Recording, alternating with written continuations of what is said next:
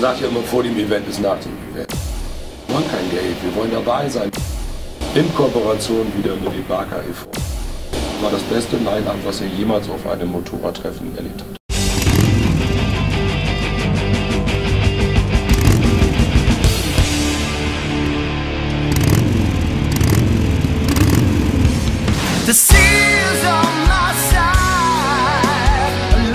Und wir sind auch nicht hier, um Clubpolitik zu machen. I'm trying.